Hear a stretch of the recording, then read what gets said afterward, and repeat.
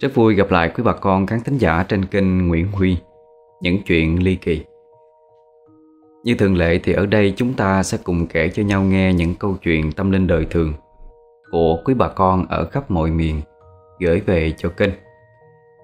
Hôm nay à, là clip thứ hai, video thứ hai chúng ta quay trở lại sau Tết. Và đi đến lá thư thứ 172 rồi. Câu chuyện được chia sẻ về kinh từ bạn tên là Tục. Bạn Tùng. Hiện tại bạn đang sinh sống và làm việc ở thành phố Hồ Chí Minh. Bạn nói là từ nhỏ bạn đã khác những cái đứa con nít cùng trang lứa. Thí dụ như là mấy đứa khác á, nghe kể chuyện ma thì mê lắm. Bu vô nghe đúng không? Bạn thì lại khác. Nghe ai kể chuyện ma là bạn bỏ đi chỗ khác liền. Không phải là bạn sợ Mà là bạn không có tin. Từ hồi biết nhận thức là bạn đã quán triệt cái tư tưởng Là là được ba quán triệt cái tư tưởng cho bạn rồi. Thì nói nào ngay là ba làm việc trong một cái ngành mà theo mọi người nói là vô thần. Chính bản thân ba cũng vậy, Không có thích nghe hay là muốn ai nhắc tới những cái chuyện gì đó Kiểu kiểu như vậy ở trong nhà hết Đó, thì à, mọi chuyện nó diễn ra rất là bình thường. Cho tới cái năm mà bạn 25 tuổi Thì năm đó bạn đang đi làm rồi Bạn không có theo ngành của ba Mà đi làm một công việc khác nó tự do hơn Đúng với cái sở thích của bạn hơn À, rồi bạn có quen một người bạn gái quê ở miền Tây. Lần đầu tiên bạn về đó là do bạn đi thăm ba của cái bạn gái đó bị bệnh. Thì uh, bạn không có kể tên cụ thể của người bạn gái của bạn nhưng mà mình tạm gọi bạn là Vân đi ha. Cho nó dễ chúng ta dễ kể với nhau. Nhà bạn Vân này thì neo đơn. Vân là con một Ba Vân tuy còn trẻ nhưng mà lại chú lại cứ bệnh suốt à Nhà thì có điều kiện gì cái vật chất đó, thì không có thiếu Chủ yếu là về tinh thần thôi Bệnh của chú trở nặng đi thì Vân mới sốt ruột mới xin công ty giải quyết cho mình nghỉ một thời gian Để mà về chăm sóc ba. Nhưng mà công ty không có đáp ứng Cho nên cuối cùng là Vân xin nghỉ luôn. Thì hai đứa lúc đó mới quen được có nửa năm thôi. Là tình cảm nó còn rất là mặn nồng. À, Vân về quê mới được có nửa tháng là trong bụng của ông Tùng này là héo hon hết trơn rồi. Thì anh chàng mới năn nỉ xếp mình cho nghỉ phép một tuần để mà về quê thăm người yêu. Cái đêm trước khi về quê của Vân Thì Tùng có chim bao thấy một cái giấc mơ. Mà trong giấc mơ đó là Tùng gặp bà nội của mình. Bà đứng ngay cái đầu xe của Tùng. Mà cứ lắc đầu không à. Tùng hỏi cái gì bà cũng không nói hết. À, Quê của Vân thì cách thành phố tầm 4 tiếng chạy xe máy thì do chưa quen đường Rồi lại phải lần đầu đi theo cái địa chỉ đó Cho nên mới mới mới giờ sáng tờ mờ là Tùng đã phải dậy để đi rồi Mấy năm đó Google Maps chưa có thông dụng như bây giờ Bây giờ thì ta nói nhà nhà người người bất kỳ ai leo lên xe đi đường xa đều bật cái Google Maps lên đi cho an toàn chắc chắn. À, nhưng mà cũng có những trường hợp mà Google nó dẫn chúng ta đi đến những cái chỗ nó dở khóc dở cười lắm. Thì à, bạn chạy đi tới hỏi ờ, đi đành phải đi là đi tới đâu hỏi đường tới đó. Nhà của Vân thì ở sâu bên trong. Muốn đi vô là phải gửi xe ở ngoài nhà dân ở ngay mặt lộ á, rồi đi bộ vô chiếc xe máy cũng không chạy vô được. Kiểu như đất giường á. Chỉ có bờ tranh rồi thôi Thì còn cách mấy cây số thì mới tới Mà người dân ở đó người ta biết hết à Tại vì ba mẹ của Vân chuyên ươm lan giống để mà bán mà Nói tên của chú là ai cũng biết hết trơn á Tùng kể là cái hồi mà chuẩn bị quẹo vô một cái ngã ba để về hướng nhà của Vân á, Thì đã có một cái chuyện nó xảy ra Là có cái thằng thanh niên kia nó chạy xe nhanh, rất là nhanh. Nó làm một cái dèo ra luôn. Mà là do nó không có chú ý đường, Cho nên vừa nhìn chật thấy Tùng một cái là nó bất ngờ Cái nó lách qua một cái. Xui một cái là nó nó nó bay qua đường bên kia Rồi nó tông vô luôn cái cột điện. Người ta la quá trời la luôn. À, Có cái anh sửa xe đó Ở ngay ngã ba. Anh mới la lớn lên nó kêu thằng thằng đó chạy đi. Ý là kêu Tùng chạy đi đi Đừng có đứng đó. Lỡ đâu người nhà nó chạy ra rồi có cái gì thiệt mình lắm. Có ai hỏi thì anh làm chứng cho. Tùng lúc đó cũng chưa biết phải làm sao hết. Nghe lời chạy đi. Nhưng mà chiều đó sau khi về nhà Vân ổn định lại hết rồi Thì Tùng có nói với Vân là Đi qua bên công cơ quan xã để mà trình báo cái vụ việc. Thì qua tới đó mới biết là cái thằng thanh niên đó nó chết rồi. Nó tông đầu vô cái cột điện mà không có nón nải gì hết trơn. Kiểu gì mà sống nổi được. Thì người dân người ta cũng làm chứng là tại vì nó chạy quá nhanh, quá ẩu, Lấn luôn cả cái phần đường bên kia.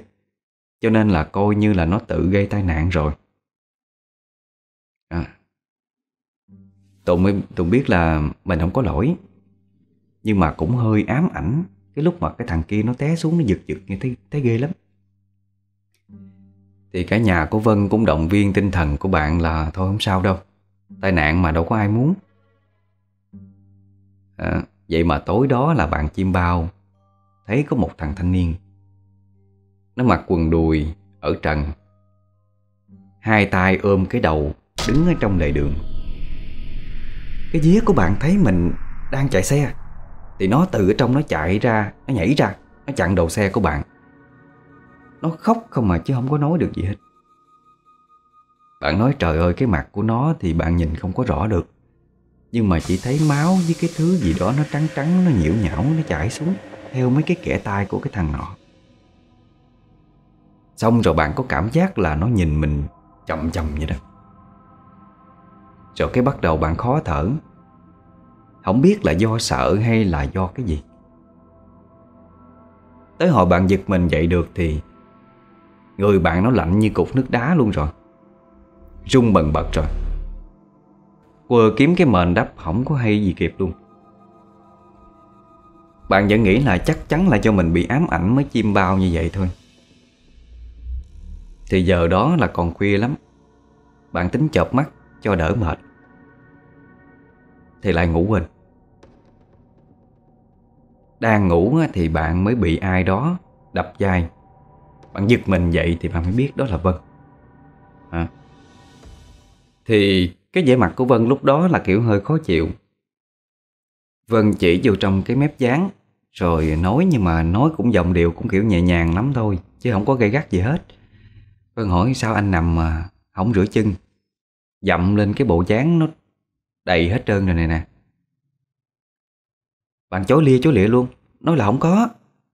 Bạn đâu có đi chân đất đâu mà dơ Còn lật bàn chân lên cho Vân coi nữa. Thì thiệt tình là chân của bạn sạch trơn à.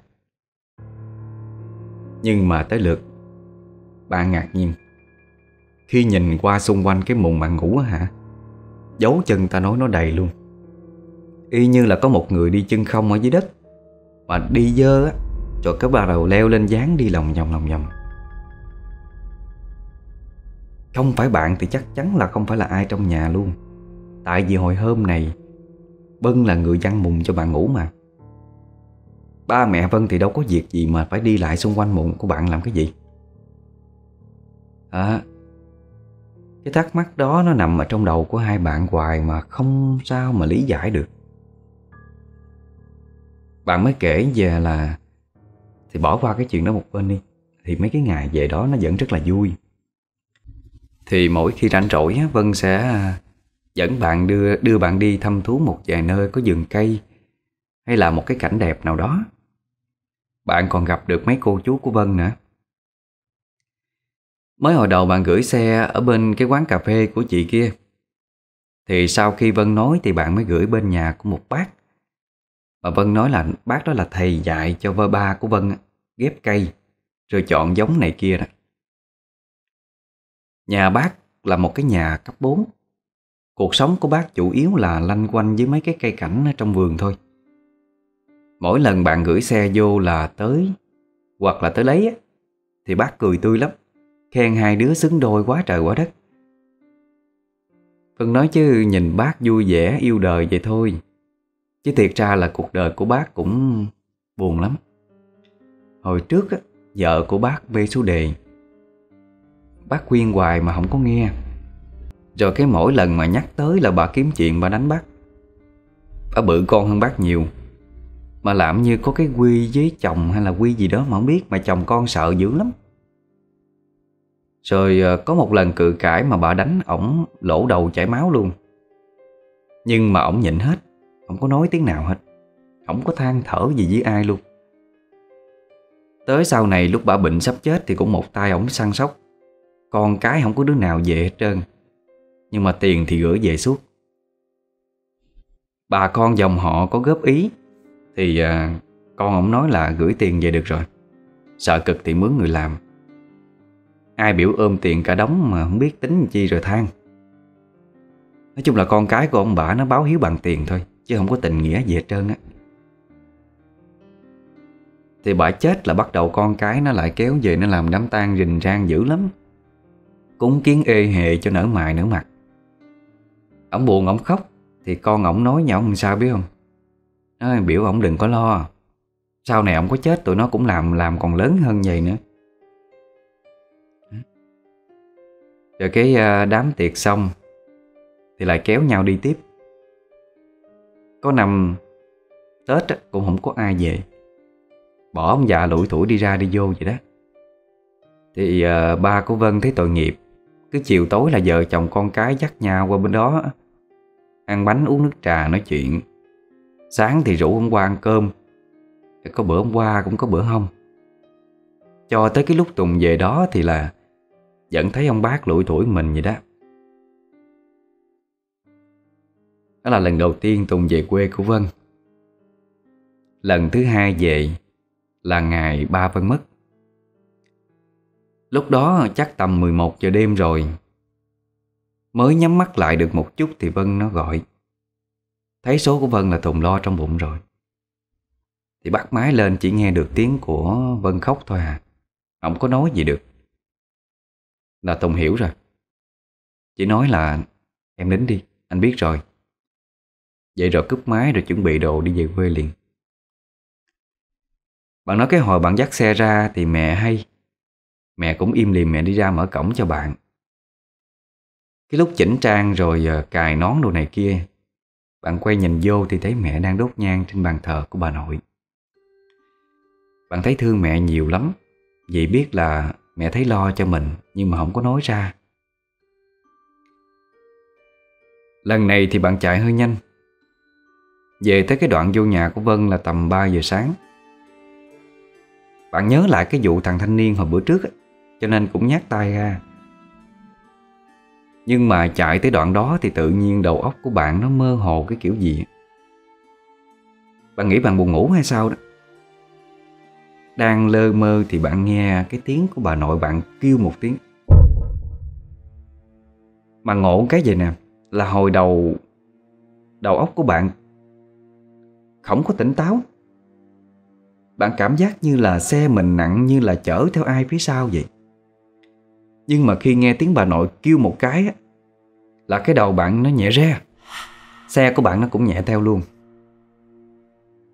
Mở mắt ra là bạn thấy Cái đầu xe mình nó đang nhào tới chỗ cây cục điện rồi. Bạn thắng muốn cháy bánh luôn. Nhớ tới hồi nãy bạn có giảm ga mà. Mà sao lúc này nó chạy như muốn tông gãy cây cục điện luôn vậy đó? Ta nói bạn bẻ lái một cái Cái xe nó ngã xuống nó quay vòng như y như trong phim. Mà cũng hơn là Là là bạn không có hề hấn gì hết. Chỉ thấy sống lưng của mình lạnh ngắt à. Bạn đứng ngơ ra một chút rồi đỡ xe dậy đi tiếp. Tới nhà bác ba. Là cái nhà bạn hay gửi xe đó thì bạn thấy bác ba với một người nữa đang ngồi uống trà ở phía trước.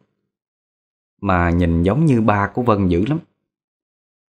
Bạn nghĩ không lẽ là chú của Vân qua bên này nói chuyện với bác ba hay sao? Nhưng mà cái lúc bạn ghé xe vô thì bạn thấy cái chú đó đứng dậy đi vô trong nhà rồi. Bác ba thì nhìn ra cười cười với bạn. Bác kêu bạn cứ đậu xe ở ngoài sân đi, Rồi chút nữa bác dắt vô trong cho. Bạn cứ lóng nga lóng ngóng. Ý muốn cũng đợi coi có phải cái chú của Vân hay không, Rồi rủ chú về bên kia. Chứ trời khuya mà đi một mình cũng ớn. Bác ba mới cười. Biểu bạn đi vô trong đi, coi phụ người ta đi chứ ở đó mà ngóng cái gì. Bạn cười cười rồi cũng xin phép bác ba đi. Cũng không có dám hỏi là sao mà bác không qua nhà bển. Vậy rồi bạn à, vô trong nhà của Vân. Lúc đó thì có mấy cô chú của Vân cũng về nhiều rồi. Hàng xóm qua cũng đông. Là thấy cái chú ba của Vân nhất đang chăm trà mời khách. Bạn mới tới hỏi là, Hình như con thấy chú ở ngoài à, nhà của bác ba Hồi nãy á.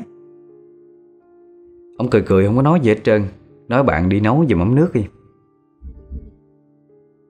Ba Vân thì chôn nhanh lắm, Nghe đâu là kiểu à, Không có ngày tốt.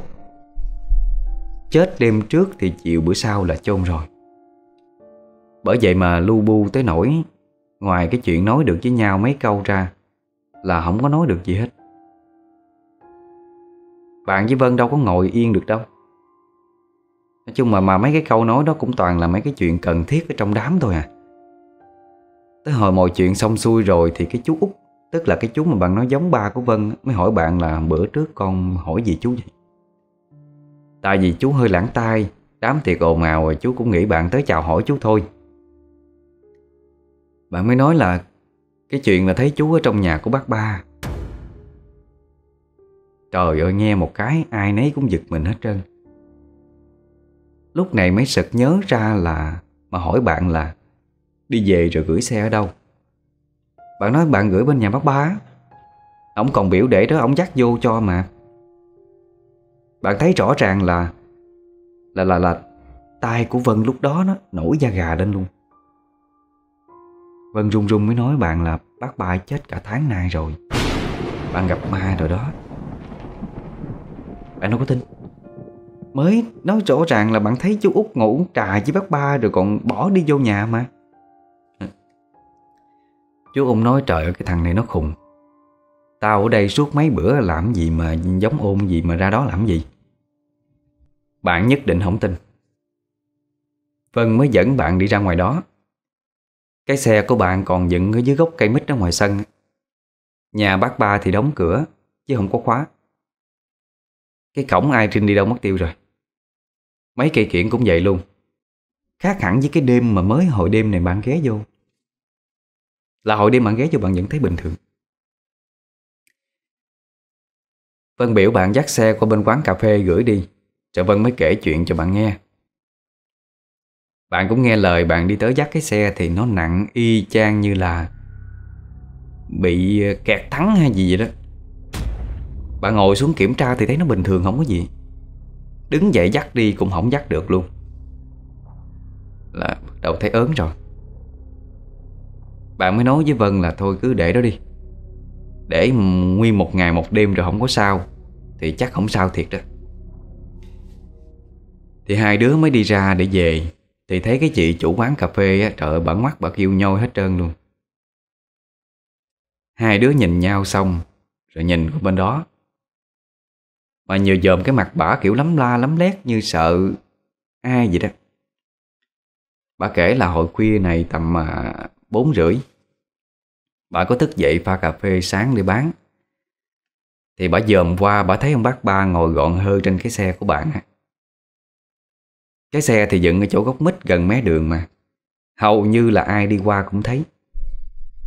Chị nói là mày đậu đó đi. Mày đậu đó đó. Một tháng cũng không có ai lấy đâu. Ông ngồi chần dần ở đó thì Thì đố thằng cha nào mà dám mon men lại. Bạn với Vân mới đi về, mà Vân cứ đưa tay vuốt vuốt hai bên vai hoài. Bạn hỏi Vân lạnh hả? Vân nói sợ ma chứ lạnh gì. Vân nói cái người mà bạn thấy ngồi uống nước trà với bác ba. Chắc là ba của Vân. Họ còn sống thì hai người đó thân nhau lắm. Chết rồi kiểu gì không ngồi lại với nhau. Tối đó mọi người về hết rồi. Còn có hai mẹ con Vân với bạn trong nhà. Vân sợ ma mà không có kể. Thì bạn đâu có chịu nổi. À, Cứ theo hỏi hoài hỏi hoài. Cuối cùng Vân mới lôi bạn vô trong phòng của mẹ. Mẹ nằm trên giường, Hai đứa nằm dưới nền mới nói chuyện. Thì nói nào ngay, Buồn thì cũng buồn lắm. Nhưng mà, Không có quá đau khổ suy sụp đâu. Tại hai mẹ con đã biết trước thế nào ba cũng phải đi rồi.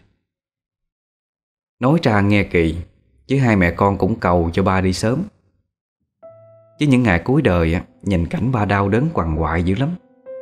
Hai mẹ con nuốt cơm cũng không có trôi. Vậy là hai đứa nằm nói chuyện. Lâu lâu Vân quên cái gì thì mẹ bổ sung vô. Nghe xong câu chuyện rồi là bạn thấy Vân chọn cách đi vô phòng của mẹ là đúng Chứ sợ không dám bước chân ra ngoài cửa luôn. Là cái hồi mà sức khỏe của ba Vân tụt dốc, Là coi như hai mẹ con bù đầu bù cổ. Cả ngày quanh quẩn trong nhà, Có khi mấy ngày trời mới đi chợ một lần Để mua mấy thứ cần thiết thôi. Thì bữa đó ba của Vân nằm mà cứ kêu là, Kêu tên Vân Vân ơi, Vân à. Vân chạy lên thì ba hỏi làm Sao bác ba mày tới mà không vô nhà? Mày ra kêu ổng vô đi con. Vân nghe vậy cũng chạy ra, Nhưng mà đâu có thấy ai đâu. Mẹ nói chắc ba mệt nên nói sẵn á.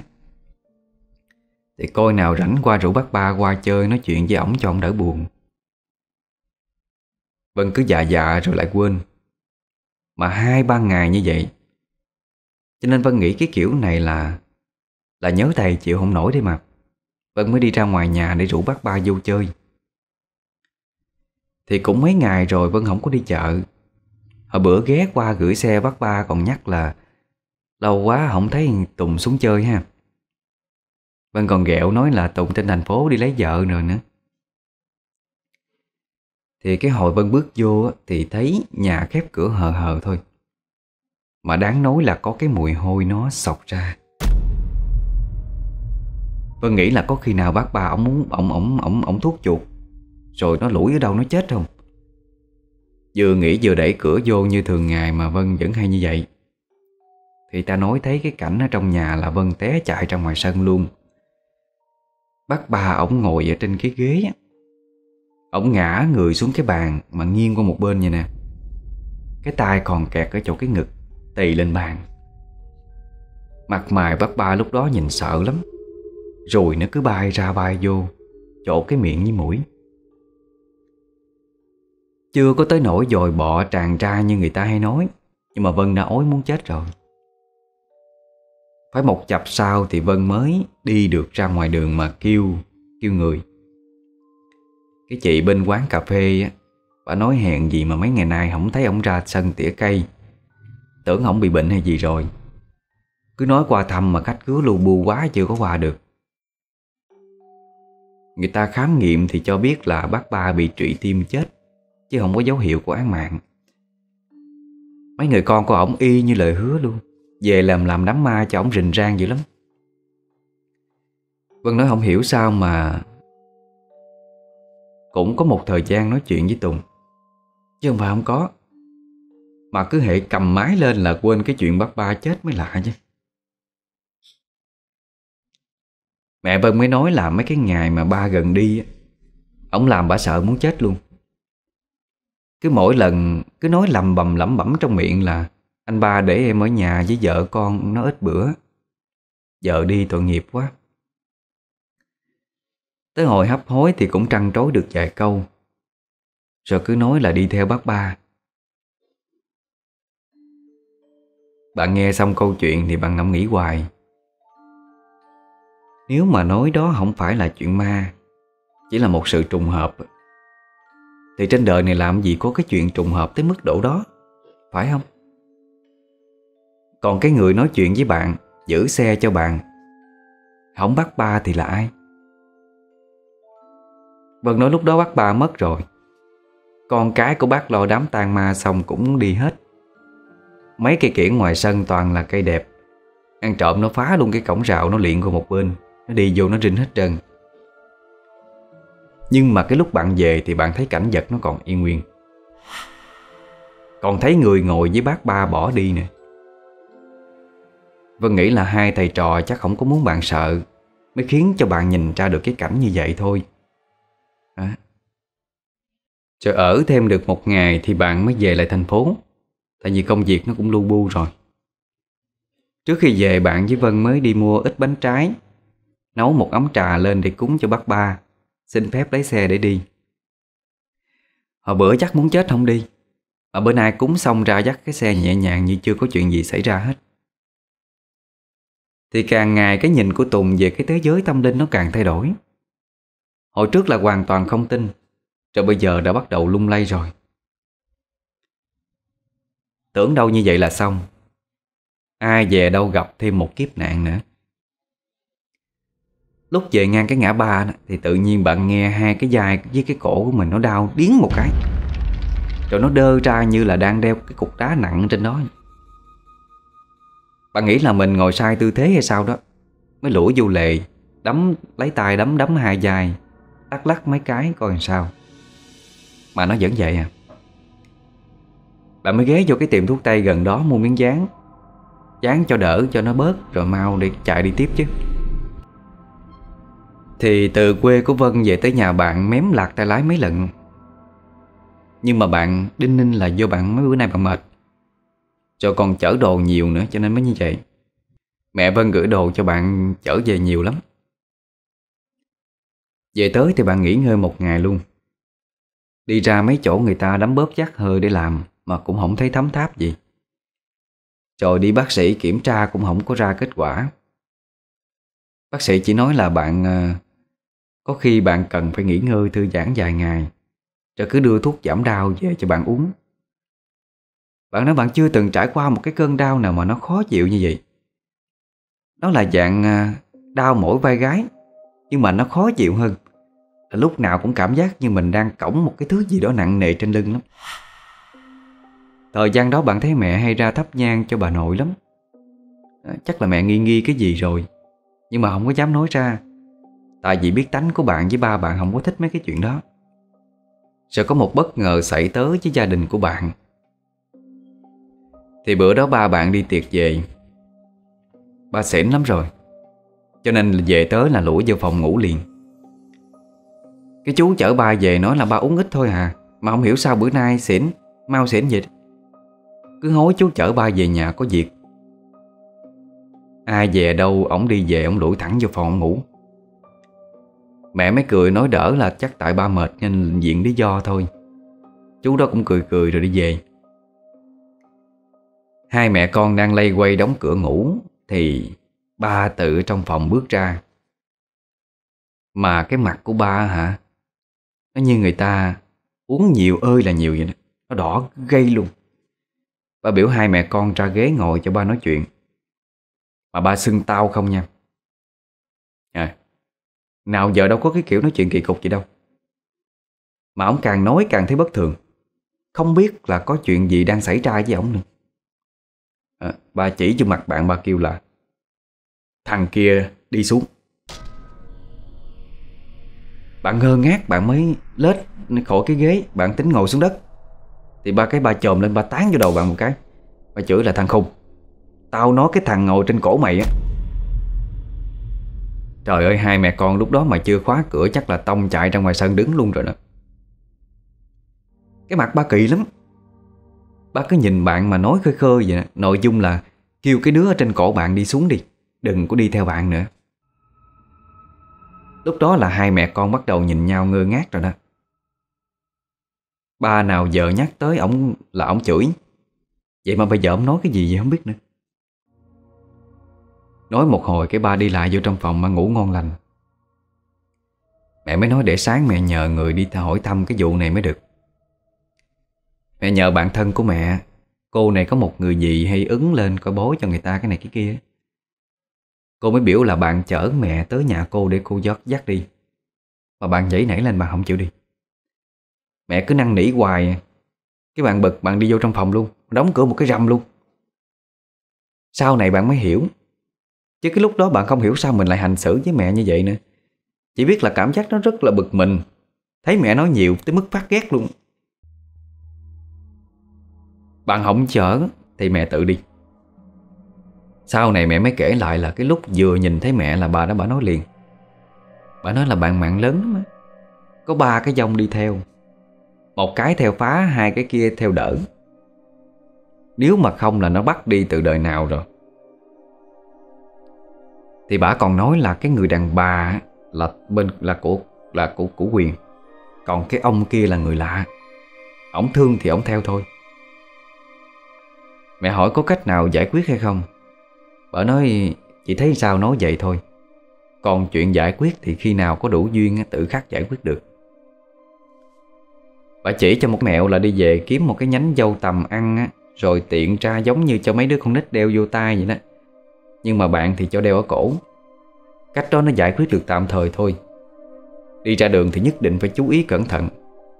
Tại vì bà thấy cái dòng này nó lì lắm á. Thì tới cái hồi 49 ngày của ba Vân Thì bạn cũng có về. Nhưng mà mẹ bạn lo bạn gặp nguy hiểm, Cho nên là hai mẹ con kêu một chiếc xe để về cho an toàn. Mẹ cũng muốn về gặp mẹ con của Vân Để biết hoàn cảnh ra sao. Vân thì mẹ bạn gặp nhiều lần, vài lần rồi. Còn nhưng mà mẹ Vân thì chưa. Hồi đầu mới về tới thì cũng chưa có thấy gì đâu. Tới hồi đám tiệc xong xuôi, mọi người về hết. Chỉ còn lại vài người trong nhà nói chuyện với nhau thôi. Thì cái lúc này mẹ mới quảng hồn. Khi nghe mọi người kể về cái thằng thanh niên né bạn mà tông vô cục điện hồi đợt trước, Thì bạn đâu có dám nói với ba mẹ đâu, Ém nhẹm luôn. Hèn gì mẹ đâu có hiểu tại sao con mình mà vô duyên vô cớ Lại bị dông theo như vậy. Tới chừng biết được mẹ chửi bạn khóa trời chửi. Đang không biết làm sao thì có người đàn bà đi cái kiểu gấp gáp lắm. Hỏi thăm là có phải nhà của Vân không? Bà muốn kiếm người. Thì mọi người cũng ngờ ngợ rồi. Làm như quen nhưng mà Bất chợt thì lại không nhớ ra. Nhìn một hồi thì mới biết bả làm mẹ của cái thằng tông cột điện hồi đợt đó đó. Mọi người giật mình tưởng đâu bà tới để kiếm tung tích của Tùng để nằm giả không à. Bà lắc đầu, bà nói Bà đâu có khùng dữ gì. Con bà sao bà biết mà. Nó chạy xe, trời ơi, người ta rủa nó còn hơn cái gì. Nhưng mà quan trọng là mấy nay ông ba cây cảnh á, Ông cứ hiện về ông nhát nhà bà hoài. Thì bà có mấy đứa con, đứa nào cũng phá vách hết. Hồi đầu cứ tưởng là tại vì con bà ăn trộm cây của ổng, Nên ổng mới về ổng đồi thôi. Tại vì đêm nào đi ngủ bà cũng chim bao thấy bác ba đứng ở ngoài mùng. Mà cầm cây kéo cắt cây Trỏ thẳng vô mặt bà. Bà chửi, bà bắt thằng con bà đem cây của ổng đi trả đi. Mà nó lì, nó nói là chim bao thôi, có làm sao đâu. Mà phải sợ. Qua bữa sau là hai tay hai chân của nó nhức dở không lên luôn. Nó mới sợ, nó biểu thằng em nó rinh cái cây lên. Chở đi trả cho ổng. Cấp hổm tụi nó chôm hết trơn rồi. Bán gần hết rồi. Còn mấy cây bán không được mới chia ra mỗi thằng cây chơi. Nhưng mà đem cây đi trả rồi Mà vẫn không thoát khỏi được cái cảnh bác ba hiện về. Thì bà sợ quá, bà mới đi coi thầy. Bà thầy chưa có kịp nói cái gì hết trơn Thì tự nhiên Bà trợn trắng con mắt lên, bà la làng lên. Bà nói, con mày tự té, Mà ai làm nó chết đâu. Mà nó đi theo, nó ám người ta, Nó đợi bắt người ta kìa. Tao nói mà nó không nghe nha, Nó lì như trâu. Nó ám người ta thì tao ám mẹ con mày. Thử coi mày chịu nổi không? Xong rồi ông nói á, Là lo đi mà rước nó về đi. Chứ không thôi là ông ám hoài luôn. Ông còn cho địa chỉ nhà của Vân để bà đi tới hỏi thăm thông tin này kia của Tùng. Ai cũng bất ngờ hết trơn. Ông nghĩ là bắt bà lại Linh dữ vậy? Bà nói bà sẽ đi kiếm thầy để rước dông nó về. Thì không biết bà làm sao Mà tự nhiên thời gian sau này bạn không còn cái cảm giác đau nhất trên trên vai, trên cổ nữa. Bạn nói nhờ cái chuyện đó mà nó đã khai sáng cho bạn. Để bạn có thêm niềm tin về tâm linh hơn. Còn riêng ba bạn thì vẫn vậy thôi. Qua cái cuộc nói chuyện kỳ lạ của ba rồi thì sau bữa đó ba vẫn bình thường Ba vẫn là ba? Ai nhắc tới tâm linh là ông chửi Tắt bếp luôn. À, Bạn chỉ kể tới đó thôi Bạn cũng không có kể là tiếp tục cuộc sống của bạn với Vân. Ở, ở phía sau này như thế nào? Thực ra Huy cũng không cái chuyện đó. Nhưng mà bạn kể tới đây là hết rồi. Um, Cảm ơn quý bà con đã theo dõi câu chuyện. Hẹn gặp lại quý bà con ở câu chuyện sau nha. Chúc quý bà con một đêm ngon giấc.